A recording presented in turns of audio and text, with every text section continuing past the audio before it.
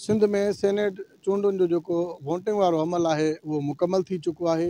अॼु सुबुह जो नाए वॻे सिंध असैम्बलीअ में सेनेट चूंडुनि जो अमल शुरू कयो वियो हो जेको तक़रीबन हिकु भेरो हफ़े खां पोइ ॿीहर शुरू थियो आहे पंजे वॻे जेको आहे वोटिंग जो अमल मुकमल थी चुको आहे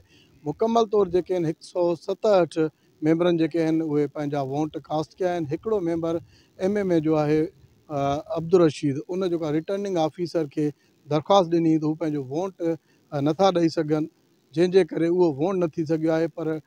मजमूई तौरु जेके आहिनि हिकु सौ सतहठि वोट जेके आहिनि उहे कास्ट थी उनमें पीपुल्स पार्टी ऐं मुख़्तलिफ़ तनज़ीमुनि सां लाॻापियल पंहिंजनि पंहिंजनि जेको आहे सो वेहारियल मैंबरनि खे हुननि वोट ॾिना आहिनि सॼो ॾींहुं दिलचस्पु जेका आहे उहा ॻाल्हि इहा रही त जॾहिं वोट पंहिंजो ॾियण जे लाइ बॉक्स वटि पहुतो त उनजी कंहिं शिकायत कई त उनजे खीसे में को मोबाइल वग़ैरह आहे ऐं उन खां लाइट वग़ैरह जेका आहे भरणु शुरू थी वई जंहिंखां पोइ उन पंहिंजो मोबाइल जेको आहे रिटर्निंग ऑफिसर इलेक्शन कमीशन वटि उहो जमाए कराए जमा कराए छॾियो ॿार सॼो ॾींहुं पीसफुल माहौल रहियो ॿाहिरि जेको आहे सो डाइस ते गर्मा गर्मी ज़रूरु रही पी पीटीआई जा अॻियां हुजनि या पीपुल्स पार्टी जा इल्ज़ाम हुजनि हिक ॿिए जे मथां जेके आहिनि उहे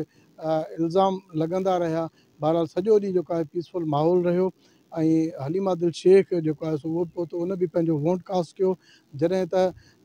करीम बख़्श गबोल जेको गुज़रियल ॾींहुं जेको आहे सो